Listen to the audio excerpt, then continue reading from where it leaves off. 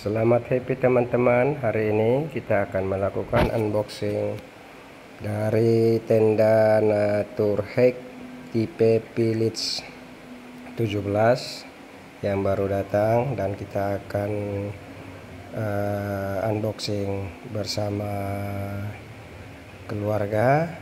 Cukup lumayan, cukup recommended untuk dibawa camping keluarga.